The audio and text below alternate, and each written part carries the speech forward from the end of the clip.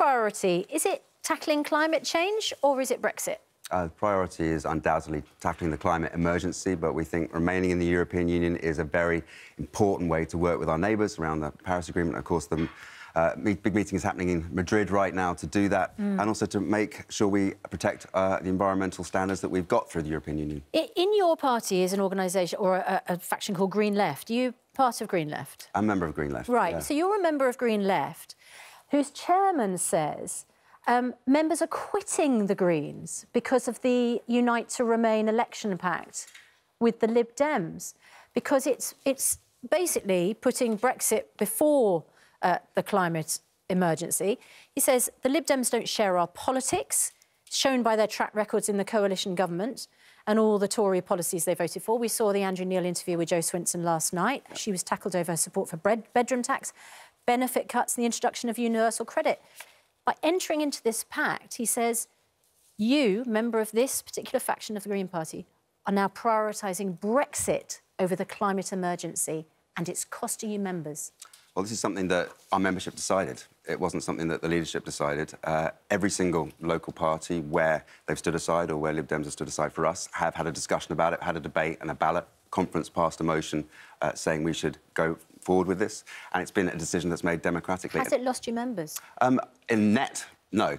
we've, we've, increased our membership so uh, quite significantly. I think so when he says members people... are quitting the Greens in protest, is he making that up? Um, no, some people have left, but more people have joined. I think attracted by the idea of parties working together and collaborating. But they may what be, they think is good. They may be prioritising Brexit. I suppose his concern is that people who think that climate change should be absolutely front and centre for you you're losing those members and you will be losing those voters. Actually, the best way, uh, why people vote for the Green Party is they want to see more Green MPs in Parliament. And under a broken system, this is the best way, most effective way of maximising our chances of getting more Green MPs in Parliament, precisely to do that, to but tackle the climate But there are still some of this alliance candidates standing against Remain backing MPs as well. So this, this, this alliance, this tactic, isn't perfect, is it? But it's not perfect. Politics is not perfect. It's the art of the possible. But if you're talking about Labour, of course, Labour yes. are not a Remain party. And their, you know, mani manifesto in 2017 was uh, to carry on with Brexit. Well, a lot of people on, voted for on, Labour in 2017. Then to vote... Well, let Labour finish, because it's an important are, point. Are, are pushing find... for a second referendum. Are, and absolutely. we know a huge number of their shadow cabinet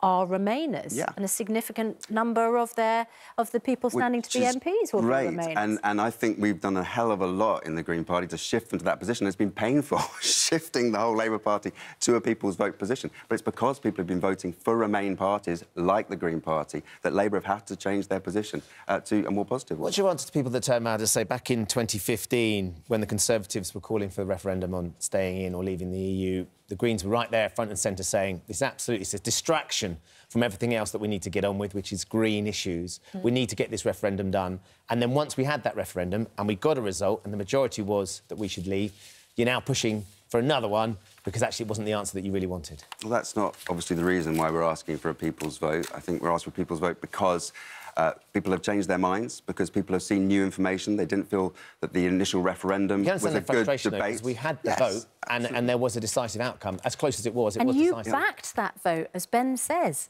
Yeah. Why, why back a vote if you're then going to take issue with the result of the vote? Was it a mistake no. to back the referendum? Because we are fundamentally believers that more democracy is a good thing. And then you want to, to overturn the democratic vote? No, we don't. We want to make sure that that deal is put back to the people. How can more democracy be undemocratic? Well, because people who believe in democracy might believe in standing by a democratic vote. Yes, I mean the democratic vote took place. It was to go and uh, negotiate the deal. But there was uh, now a lot of people that people were going to get to vote on what that deal was, though. Uh, I think actually you'll find a lot of leavers uh, didn't rule it out at all. And at one point, Nigel Farage was even saying maybe we should, maybe people's vote is a way. Sorry, forward. on the ballot paper, it was the question was, do you want to leave the EU or do you want to remain? Mm -hmm. It wasn't, do you want to leave the EU and then the government will go and negotiate the deal and then you can have a second vote on whether you like that deal or not. I don't know how many of the 17.4 million would like the deal or not like the deal, but they definitely voted to leave. Sure. Look, people in my family voted to leave. Uh, people in my band voted to leave. I have good mates, I have good relatives that voted to leave. But they recognised that actually, when that debate took place, uh, they weren't given all the information. No one was talking about the Irish border. Just think about it. If you say, you know, you ask the question, do you want a car? Yes, I want a car. Mm -hmm. And then the car turns up and you go, actually, that's not what I want. You're, you're absolutely Sorry, totally Jonathan entitled to you change your backed mind. the referendum. You're totally. It just sounds so disingenuous to say we want a referendum, but if you don't vote the way we want you to, we'll just hold another referendum well, until you do. As I've said, that's not the argument we're putting forward. It's exactly the argument no, you're putting forward. No, the argument we're putting forward is that people now know more than they did then. Well, people, people have changed their minds. Or, or why? How do you me, know people, enough people, people, have changed their minds that you would now win well, that referendum? Well, the polling it's not about whether we win it or not. It's the fact that people have changed their minds, and we see it from the polling that people have, you know, taken. If you could go back to 2015, because we're talking about hindsight, we're talking about seeing things beyond. If you go back to 2015, would you still back having that referendum in the first place? Um, I would uh, back a better referendum process. I don't think that the referendum was done particularly well, and I think people on both sides agree that it was a pretty poor level of debate. And I want to criticise both the Leave campaign and the Remain campaign for using fear. That's not what we do in the Green Party. We believe we want a constructive, meaningful democratic process. And I don't think that referendum was a good example of democracy in okay. action. You say you don't use fear. You're part of Extinction Rebellion. Is that the case? Uh, I'm not. I, I've spoken at uh, Extinction Rebellion rallies. Uh, and you I, were part I'm of the Extinction Re Rebellion I, protests. Uh, I got, I did get arrested, and I've got At to be very, very careful Rebellion because protest. I have to be very careful because there's a pending investigation uh, about my arrest. Mm -hmm. But the reason, uh, the specific, specific circumstances, without getting myself into too much trouble, mm -hmm. were that there was a uh, an order passed under the Public Order Act by the police about civil unrest and protest and the right to protest. Do you think At that, that, point, I thought it was right to stand up for the right to protest. Do you think that Extinction Rebellion is helping or hindering your case? Because what we saw in that, that period of, of protest was at times, and you're saying not fear, but it was times very violent and very dramatic. You only had to see the pictures of what happened at Canning Town. Yeah. And uh, I'm, I, am not a member of Extinction Rebellion, and I criticise no, but you, that. But you have action. spoken at Extinction Rebellion protests. Yeah, I will go whenever I'm invited. I go and speak. I spoke at the Labour Party conference. I don't agree with Labour.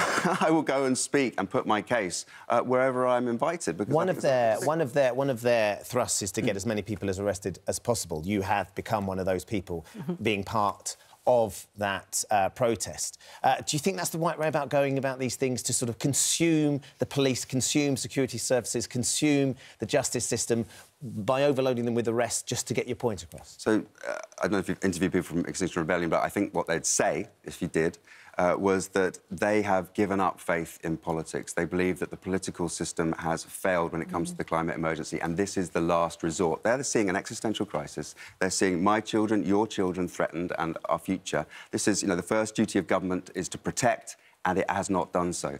And this is the last resort for them.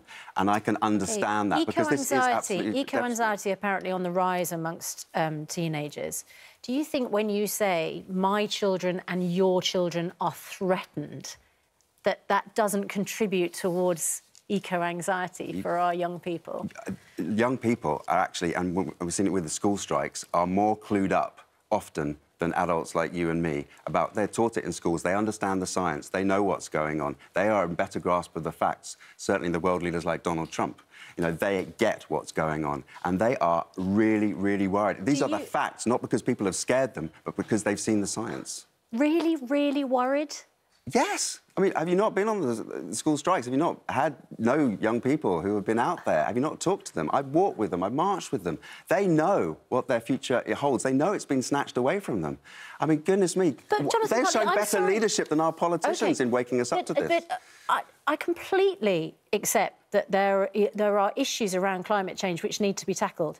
But when you see their future being snatched away from them, I mean, you know, if you're talking to, for yeah. instance, a 14-year-old right now, do you think it's saying to them your future is being snatched That's what away they're saying them? to us. I, I, walked alongside young people and they said, What's the point in me going to school if I have no future? What's the point in me studying hard if I have no future? They recognise that we aren't on track to meet even two degrees, uh, that maximum, uh, you know, let alone one and a half degrees. That means a 50-50% chance by the International Committee on Climate okay. Change's own uh, estimation that we will have runaway climate change. The extinction... They read those reports. Yeah, the, so I think getting back to Ben's original point, do you think Extinction Rebellion has been a benefit for you. I mean, you've been pretty critical of them and the threatening language. You've used quite worrying language yourself in this interview. Do you think that they've helped you? Have you uh, got more votes I through Extinction Rebellion? What Extinction Rebellion and the school strikes and Greta Thunberg and David Attenborough have done, all in their, you know, mm. to different audiences, have pushed uh, climate up the agenda in a way that we haven't seen previously, and I think that is really okay, to be welcomed. Because... So not, I might not agree with all the tactics, yeah. but it, over in the round, I think okay. it's a good thing. The, it cost 37 million to police those Extinction Rebellion protests this year. That is more than double what is spent by the Met on the Violent Crime Task Force. Now, I am extremely concerned about knife crime in London, and the idea that twice as much is spent on those protests than the violent crime task force, I think is a real worry. And when you talk about threats and risks to mm-hmm. young people, particularly in this city, I think they'd be particularly concerned about that. Is that money worth spending? The, the issue... 37 million? Uh, the issue, uh, the, the, lack of funding to tackle knife crime is not because of Extinction Rebellion. The lack of funding for knife crime is because of a lack of political will. It's a stark contrast, isn't it? Every Imagine Saturday, if that money was put into the Violent Crime Task Force. Every Saturday, we go and watch football matches. We close down roads. We organise ourselves. We have a massive policing operation. Mm. Uh, we, the, the, issue around knife crime is the lack of investment, not the fact that the police are doing other things. What would be success for you at this election, Jonathan Bartley, in the Green Party? Well, I think to some extent we've had the success in that we've shifted all the parties to talking about the climate emergency. Now, just two years ago, we had to go around with a big green question mark, photobombing interviews like mm. this to get people to talk about the climate. Now so we've had a climate like that's debate. shifted dramatically already. It has. The other parties aren't doing nearly enough, and I'm worried that it's mm. just rhetoric and not actually substance. But there is no doubt at all that this has ramped right up the agenda, and that is so important. And finally, do you watch the Queen's Christmas message? Uh, I do. Uh, I'll be completely honest. What time honest. of day do you watch it? Usually we rush through lunch to get there for three o'clock. Um, I'm a Republican. I put my hands up to it, uh, but my mum loves the Queen's speech, uh, and so I watch it with her. My grandma always used to, I don't know if they still do the national anthem, but used to stand up for the national anthem, and we'd stand up with her, Does even as Republican matter? out of Does it matter that Jeremy Corbyn said he watched it in the morning when it's on at three o'clock in the afternoon? Um, I, I, don't think... I think there are bigger issues, frankly. Of course, well, does being that honest, matter? Being I, I, I, think, I think putting your hands up and saying you got something wrong as a politician is important, and I try and do it as much as possible. Anything you want to admit to? lots, but I haven't got time.